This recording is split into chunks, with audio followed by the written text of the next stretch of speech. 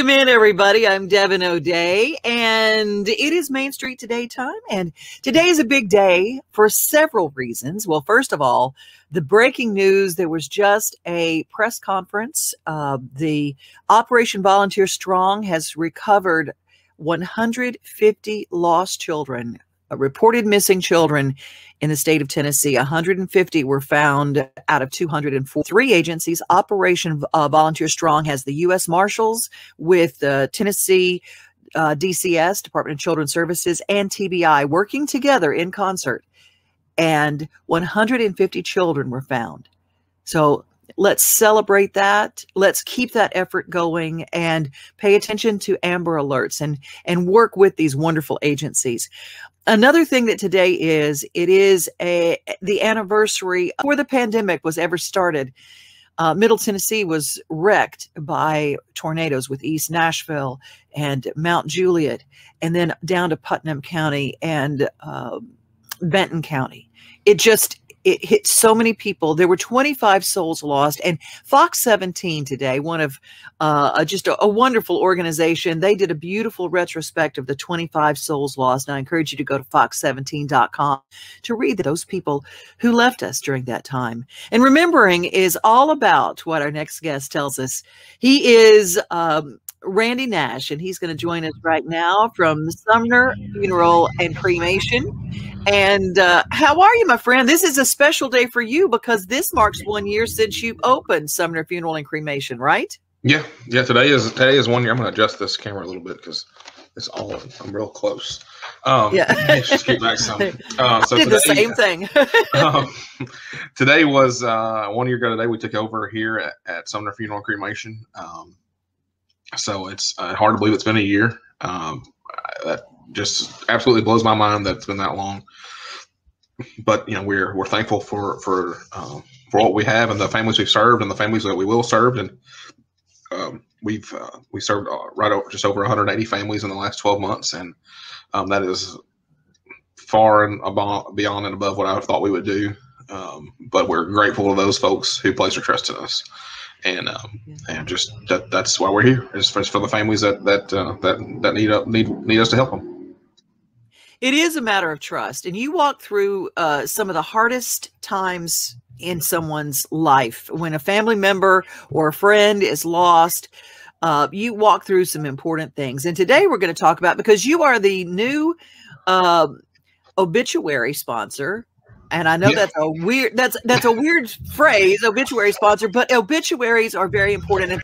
I, I know I and I think I could speak for any funeral home in Middle Tennessee that is grateful for Main Street Media that the fact that that that Dave Gould does not believe in you know in, in charging for obituaries that it's a you know we, they are these are true community newspapers and and obituaries um, are for the community and um, and that's that's a big thing, especially it's in for the families. You know, it, it, helps them too because you know there, there are other papers that charge for it, and they charge a lot of money for it, and um, that that that is that has led to the um, the influx of more online obituaries. You know, we use our website for every family that every you know, and not every family chooses to do an obituary. So they may they may you know want things to be more private, or they may not want you know their the information out there, and, and we respect that. That's what they want. That's what we do. Uh, but but the families that do want that and, and can we you know when we tell them well you know what's that cost? Well you know if you look run in the local papers you know we usually run it in the Gallatin paper and the Hendersonville paper as a standard. Um, you know there's there's no charge for that and that's that's a big deal. And so um, when um, your colleague um, Randy Moore aka Moon Pie um, came to me and said, "Hey, you know, there's here's what we're doing with this this online newspaper," and I thought it was really cool. He showed me what it was going to be similar to, gonna, just like this, yep, just like yep. this. And so I was it looking will, at it yesterday, and I, I, actually was I looked through a lot of it, um, and um, he said, you know, what about that? And he's we mentioned as I mentioned the obituary banner page on other papers before, and he said, well, he said this is what you know these are the this is what we got, and so I decided um, that was what we needed to do and um, you know it's it's uh, it goes across Middle Tennessee, and so hopefully you know, there's you know people will um, if people have information, they can click on the the the, um, the ad there and, and, get. I think it takes us straight to our website. I actually didn't try that. I did everything else but click on my own ad. so, um, but um, you know, I, I, think it's an awesome uh, thing for the people of Middle Tennessee to have that for for you know for a new another paper to you know another publication. I hate to say paper because it's online, but it is. It's what it is. That's it is, it, it, and it's yeah just chock full of information about us, yeah, about here in Middle Tennessee. Yeah, and it and it's you know, and I know that there was stuff from, you know, there, there was some some national news and other things in there too. But you know, a paper that we can, you know, a true hometown newspaper or home.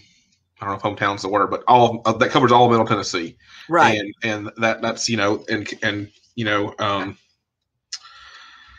encompasses everybody. So I think that it's a big right. deal, and and I, I I would you know I've said for years that the other, I'm not, I won't name names, other paper in town needed mm-hmm. competition. And so I'm glad that, that they do. Well, we are proud to offer a free service to get the word out because the when you're in shock, you you, you want to tell people what's going on. You want to let them know about uh, celebrations of life. But the first thing where everything starts is writing an obituary, and on your website, it's sumnerfuneral.com. They've got, let's see if we get that to pop up. All right. How to write an obituary. Uh, Randy, let's go through a, couple of these things because when people want to write an obituary, it's not as detailed as what people think. It's not as scary as what people think.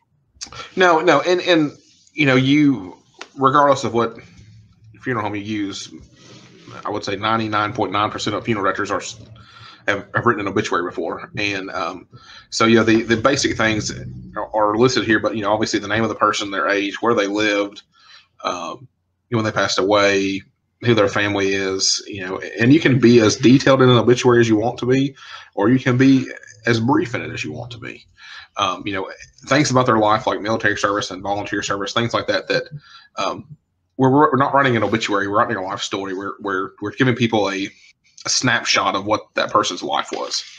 Okay. And, um, uh, you know, sometimes obituaries are funny, sometimes they're somber, sometimes they're vulgar.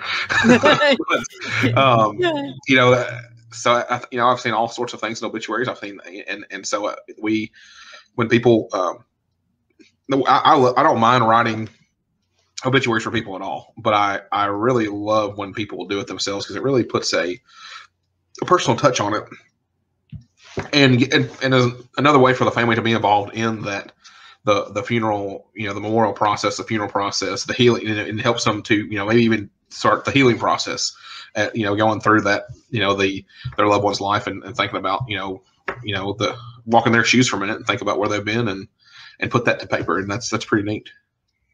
The first thing that I do when I see obituaries, and the first question everybody asks is, "Well, how they died?"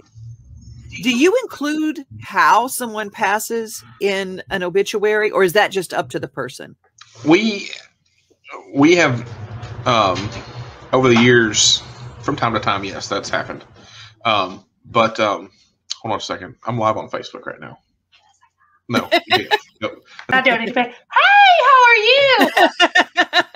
See, sorry this is to, our family. Sorry to bombard y'all. I'll let you. You didn't. You didn't. This is family, and this is what we're all about here at Main Street. Um, and so, from time to time, yes, that does happen, and there are, um, you know, people that want that in there. But traditionally, no, that is a thing we try to, you know, keep private. Um, mm-hmm you you can tell some things, you know, in obituaries maybe that person had cancer or something like that. If you see that they made donations to the Cancer Society or to um, the Lung Association or the Heart Association, things like that. Um, recently, in the last 12 months, that has changed. However, um, we had several people that uh, we put that their cause of death was due to complications of of COVID 19. Um, I, if that's what people want, that's what we're going to do you know, I'm not gonna. Yeah. Um, it's up to the person, and that starts with the pre-planning. People can actually write their own obituaries and have them filed. You told me a story of of someone who wrote their obituary, but they changed it several times. Yeah, in the last 12 months, has changed it like three times.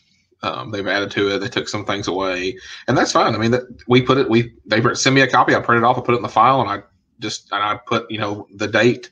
I would put it in there so I know that this is the most recent one. And if that's what they want to do, that's fine. I mean, I have people that bring us the pictures. Or they bring us, um, uh, um, you know, they I have people that bring me. I've got a, I have one person that brought me copies of their will and stuff, so we have that too. We don't necessarily need that, but I'm a firm believer in being prepared, and if that helps you be prepared, and that puts it one more place where, hey, you know, if somebody was to lose it or something, because it happens all the time when people don't know if a person has a will or does have one and can't find it, or you know, the, maybe the attorney that did it kept on a file with that attorney is out of business or passed away or closed or what have you. So you know, um, there, there's and uh, there's not there's never so much so, such a thing as too much information in a pre-arrangement. Number 615-452-9059. 452-9059. Mm-hmm. We so appreciate you. SumnerFuneral.com has a lot of resources that you can find. And Randy, you are uh, such a source of great information, and you have it there, whether it comes to grief, planning a funeral. Right, the, the one thing I'll say is about our website is when we um, when we took over when I took over this business last year, um, I wanted to design a website that was user friendly and mobile friendly, and, our, and we have accomplished both of those. And I wanted it to be a source of information for people that they can look on there and and um, and it you know they can people can actually they can go in and give us all the information they would need for we would need for a pre-arrangement except for you know picking things out and paying for it. They can do that that much actually on there. Um, they can send us contact forms. There's obituaries. You can leave guest book you can leave um, comments on people's obituaries. They can even you can even order flowers and other things directly from the website to send to the family. Um, so it's so it's just a way to um, it's another service we provide. We don't you know we don't there's it's it um, is for the for the families and for the, the community. And and um, there's even things on there that I don't there's so much on there that I don't I'm not seeing every single thing because every now and then somebody will call and say well I saw such and such on your website. And I'm like where did you see that? Because I need to go look at it. So, um, because but, it changes from time to time and you add things every day. It's just right, great. yeah we we just recently added um, I got all of our staff pictures and things up there so we have that I, I kind of held off on that just because I it's about you know the the funeral home's not a you know our business is not about us it's about our families but you know i look at more other so many funeral homes have their staff members on there people want to see who they're talking to when they call in so i put all of our staff on there and um, uh, that that's i think helpful for people too so they can put a face with a name well, we appreciate you, and you guys can go and check out some of the stories that Randy has about what he does as a funeral director uh, by going to his uh, podcast series, Six Feet Away. And uh, there's some really, really, even even some funny stories that we have that we've shared about being a funeral director. Yeah, there's a few. There's some good ones on there. That, uh, there's we we acquire more stories every day. So. Bye, Randy. I love him. Uh, you know, he's made me think about things that I never would have thought about. And he's took taken the morbid thought about planning a funeral just completely out of the picture. I tell you somebody else who has really changed my my thinking on home decor and things as unsexy as gutters. Big J here at Monster Home Services. I want to show you something. We install gutters all over Nashville, Tennessee, South Nashville, North Nashville, anywhere, Clarksville. When we put the gutters up, we don't put up just some cheap gutters. Some guys come up there, throw it up, it's gonna fall off in a couple years. Let me show you something real quick. I'm a big guy, and I actually weigh 390, 389 pounds there. Now watch this, we're not gonna cut away. Here's a four foot section of gutter right here, okay? It's got our patented Valor gutter guard on it. It'll never clog. If it ever clogs, we'll clean it. If your gutter clogs, I'll give all your money back. It's better than anything on the market. You don't have to buy vinyl gutter guards and the curb guards and stuff like that. It's gonna work. You're never gonna clean gutters again. But even if you just need gutters, check this out. 389 pounds. Hopefully it'll creak a little bit, I'm hoping. All day, every day. When you get gutters from Monster, it's a one-time shot. And we're going to beat anybody's price on them anyway. So give us a call, 615-509-4375. Big J Monster Home Services. Call us now. See, I told you, making gutters sexy. By who's probably one of the most creative cats I've ever met in my whole life. And we share a birthday and I love every everything he's ever done. Before that, though, before we go to Mark Collie, who's in the waiting room right now, we're going to say good morning to my friend Marty Luffman, who is watching, and um, glad to have him as part of what we do every day. If you guys want to leave a comment, we love to share your comments on the show. And uh, standing by, let's see if I can pop that over there. There's my buddy. Good morning. How are you? I'm hey, good. Hey, Mark. I'm good. And how are you? You know, just making lemonade out here. Well, it's great to see you. It's good to see you too. Good to see you too. Man, I tell you what, this new project, a new single just came out, and wow, it is so you. It is so you. The new, you. the new single, Born Ready, is part of a bigger project. Tell people what you've been up to because you're a writer, Well- you're an actor. I'm very proud of it. It's taken them some time to complete, uh, and it's a it's a pretty good broad when you get when you hear the entire record. And I'm anxious for you to hear it. Uh, but uh, "Born Ready" is the first single, and as you as you'll listen to it, it's pretty much touches every base that I've that I've crossed. You know, and uh, from Waylon to Cash to Carl Perkins, you know. It was an opportunity for me to really, uh, the, the stories, the originals are derived from a story that I've been working on and a project I've been working on for many years with my friend Jonathan Hensley, who is a screenwriter and storyteller. And uh, the songs are, are built based around a character who is sort of a uh, roadhouse, uh, you know, performer and uh, songwriter, but his he sort of has a double life, and part of it he's an avenger of evil, and it's called the Rockabilly Hitman, and it's a graphic. It will be out as a graphic novel uh, this fall. Uh, I don't have any details on that. I can't talk a lot about it, but I can talk about the music around it, and all these songs sort of help paint the picture and tell the story and bring to life this character Jesse Wayne Harden, uh, the Rockabilly Hitman and but the songs a lot of every song i write's got a little me in it you know? And uh the sort of the story that takes place in this album uh are life experiences of my own from my perspective but they're really from the perspective of this guy who's uh trying to do some good with his life even if he has to do wrong to get it done Yeah, we're going to listen to the first single right now. Uh-huh. The people involved, there's there's tons of people involved in this project, but we're we're going to talk about those in just a second.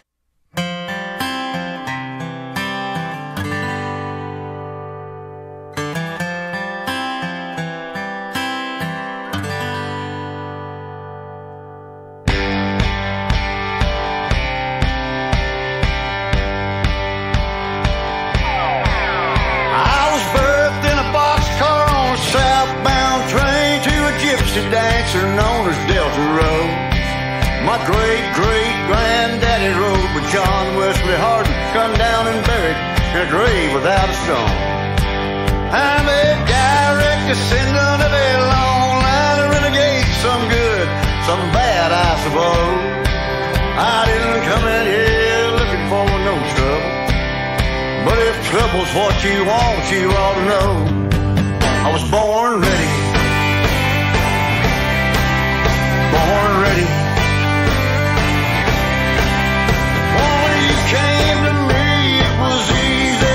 You were everything I was not looking for.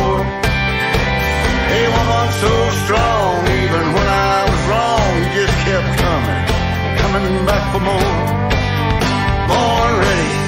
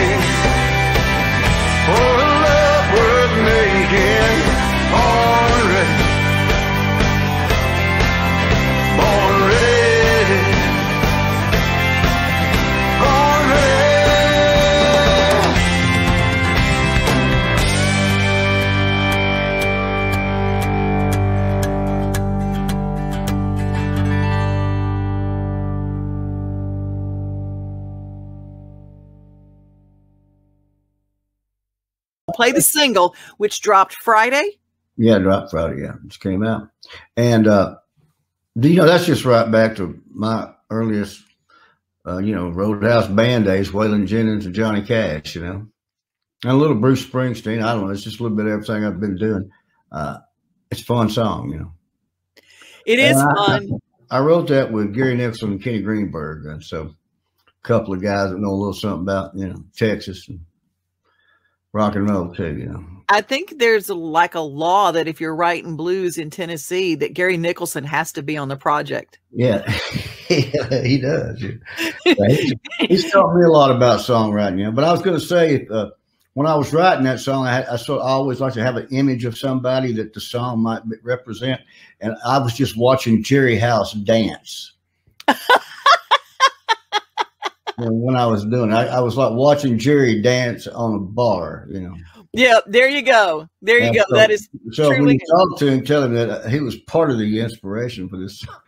I will. I'll definitely do that. Let's talk Kenny Greenberg for a minute. Uh, when did you get? When did you meet Kenny Greenberg? Is he part of the production of this whole project? Kenny and uh, Kenny and Chad Cromwell produced this record with me, and they are they were fabulous. They actually, I've known Kenny a long time, you know, just from making records. You know, he's played on a lot of hits and a lot of, you know, a lot of music, and uh, been a fan of his. And Chad, you know, he's from Memphis, you know, and I cut my teeth down there, you know, so I've known him a long time. Played on, you know, just if you've been making records very long in this town, you're going to work with both of them sometime. Yeah, yeah, that's right. But uh, Chad and uh, Kenny and I did a thing for the Nashville TV show as a something for a Nashville Live, I think it's called, and uh, and we played a few songs, you know, and they tracked some stuff for the TV show with me. And Chad said we should make a record, you know. And at the time, I was writing these songs and working on this project, but uh, I think I have to thank them for sort of pushing me to to try it. So I thought I'd try to start recording this story. You know, this is sort of like a Walking Tall, the musical. You know, I love it. and so uh, you know that when, when this whole thing comes together. But these songs are. Uh, and Kenny, you know, is the best player I know, and Chad, just you know, you, tell it, it. uh, If you hear a record, if you know it's Chad, I know it's him. As soon as I hear that kick, you know. Mm -hmm. Well, they did a great job. We wrote a lot of these songs together, you know. Sort of walked down this road together, and and it was a great. It was a one of the most uh, rewarding experiences creatively for me uh, because I was there were no boundaries, you know, and we were sort of making up new rules as we went, and uh, it's just loud and uh, proud, and you know, it's pure country, and uh, and Yeah. rock and roll too, you know. rockabillyhitman.com. That's you can find that by going to markcollie.com. There's a link to it, and you can see a snippet of every song that's coming. uh, Jonathan Hensley and I created the characters, you know, and the story. And uh, Jonathan wrote the he wrote the, the screenplay of the you know the, the the book of my blues, and uh, every song has a chapter in the book, you know, and uh, so you can see some of the first images from the graphic novel uh, by Nicholas Burns. He's a Canadian artist, a great guy, you know. So it's just it's sort of rolling out slowly. There's a lot of story to tell. I guess you could say this is sort of my redheaded stranger, you know, Oh, oh my God. Yes. Oh yeah. because Willie uh, Nelson, it's got a lot of pure country in it, but really it's storytelling at, at its heart, you know, and uh, it's country music at heart. But I mean, it's everything from you know I don't know what you would call a lot of it. Uh, what we call country music now, I don't know what you know that really is. I know what I call it, and I call it something that sounds like Waylon or John or George Jones. You know, Absolutely. Yeah. And I would, I'd have to say that uh, "Book of My Blues," that first song, uh, was was with Billy Bob Thornton. He helped me with that. I was going to So ask you about Billy Bob. Yeah. Yeah, I have some good uh, some good help on telling these stories. And he can tell some stories. And uh, Tom Douglas is a collaborator on the song, and uh, John Scott Sherrill. And, Another uh, blues man. Yeah. yeah, and, and just some great writers on the record, you know. And It's a great collaboration of great music. I'm just telling you that I don't say great lightly.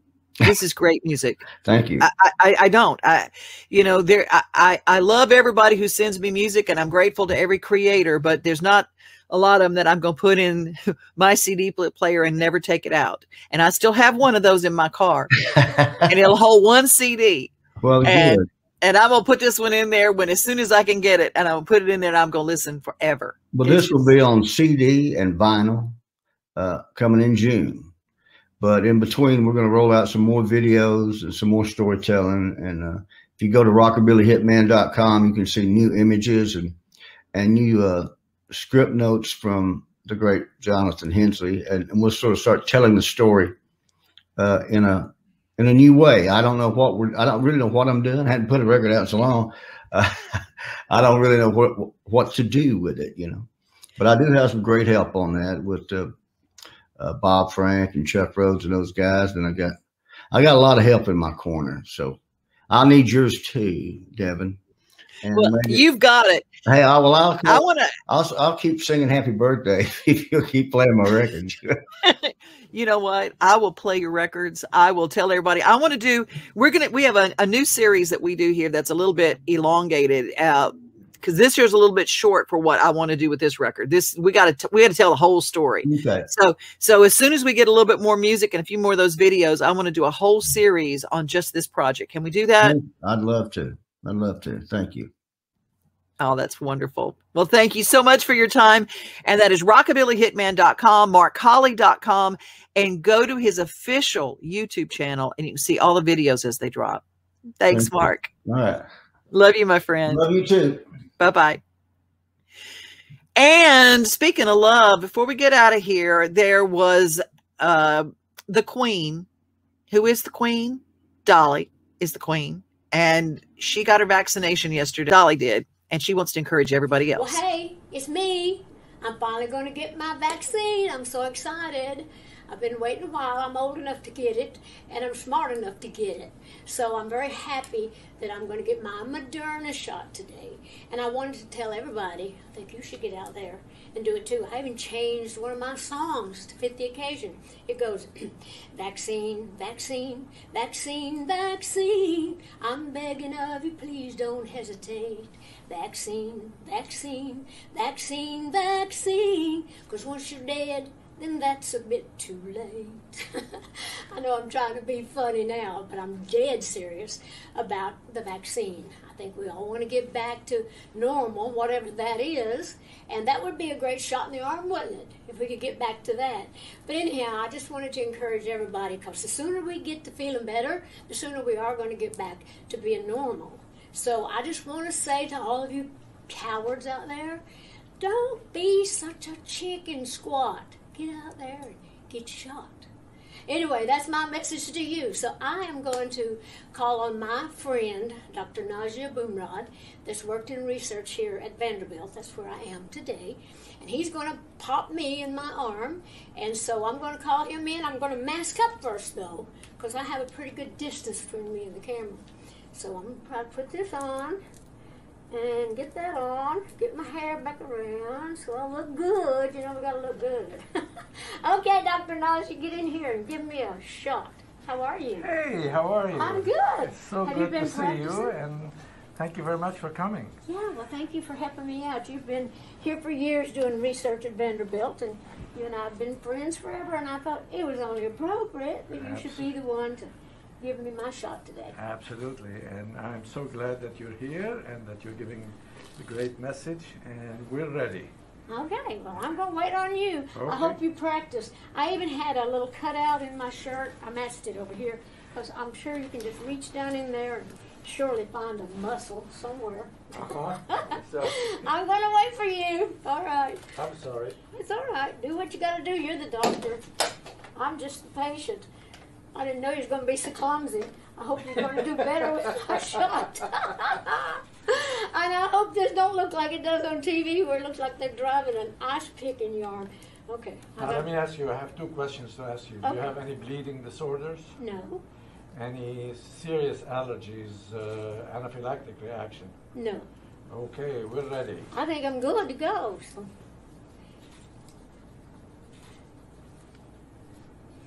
I'm going. I'm going.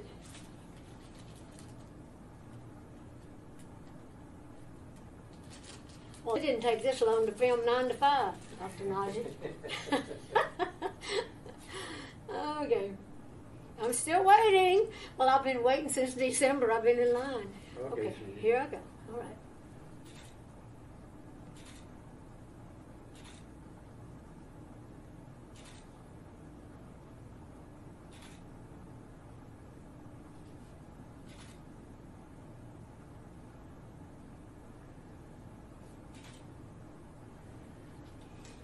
Think you got it? I got it. Okay. I didn't hurt. Just stung a little bit, but that was from the alcohol pad, I think. Yeah. Right? Okay. Let me All just right. maybe put a. A band-aid? No. Mess up my beauty mark? Okay. I'm joking. You do what you gotta do. I don't want blood on my clothes. hey, I did it. I did it. I did it. I did it. Now, if you, uh, Tennessee is going into what they call the 1C, the people who are at high risk, and there's a whole list. They will search wherever you are is to how to get your vaccine. Uh, you can do it for your Department of Health in your county or your parish, wherever you're listening. And you can also go to your local drugstores and they all have their their areas. I know in Lebanon, Tennessee, one of the the pharmacies is Gibbs Pharmacy that has them, and of course your your Walgreens and your CVS's and places like that. You can also check with their clinics as well. If you find yourself in need of health insurance, one Google search and a questionnaire could start your phone ringing and those emails and those texts coming from companies all over, and it can be really confusing. And sometimes you get caught up in buying something only to find that it covers very little of what you actually need. And sometimes it can be too late to do anything about it. You know, after the fact, like when you need your insurance. That's why one click to my friend, my insurance guy, Health Insurance Harvey, can keep that from happening. HarveyDurham.com. Chat with him, set up a virtual appointment anywhere in the country practically. He's licensed in 40 states. He'll look at your needs, your budget, and share every single thing that his insurance is going to cover and what it won't. You don't pay for what you don't need. If he can't save you money or can't give you better coverage, he won't sign you. You are under no obligation. So do yourself a favor. Get a free comparison quote from Health Insurance Harvey. It just might work for you like it did me. I'm not his commercial announcer, I'm his client at harveydurham.com. Uh, about Mark Collie's song, love that song. Real Country is Alive. Dorinda Owens, hello, Mark. And a great shout out to my friends in Upper Alabama. Good morning from Suzanne and Mark Thomas. So thank you guys for listening. Remember, be safe and be kind. And remember, you are loved.